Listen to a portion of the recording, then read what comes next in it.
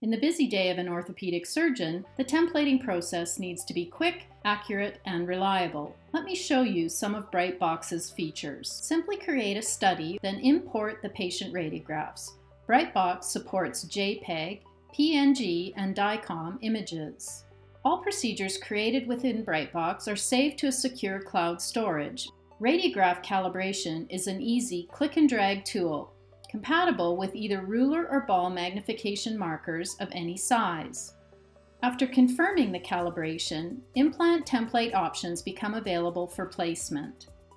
For a THR procedure, choose a stem type, BFX or CFX, and an implant size, then position it over the bone.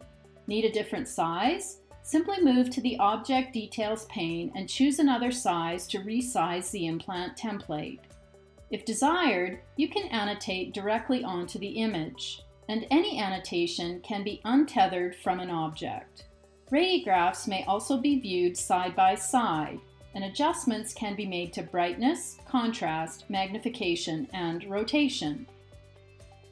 For TPLOs, intersecting lines of the tibial plateau and long axis of the tibia automatically provide the TPA angle. After selecting the appropriate size radial saw blade, linear measurements can be made as needed to translate your radiographic plan to your surgical plan. The selection tool allows you to actually rotate the proximal tibia around a planned osteotomy site. To make your selection, you can draw freehand or choose from the preset shapes. Lastly, place your desired TPLO plate size. Your work is saved to the cloud in real time, and radiographs can be downloaded and shared. To create your account and start your free trial, visit brightbox.biomedtrix.com.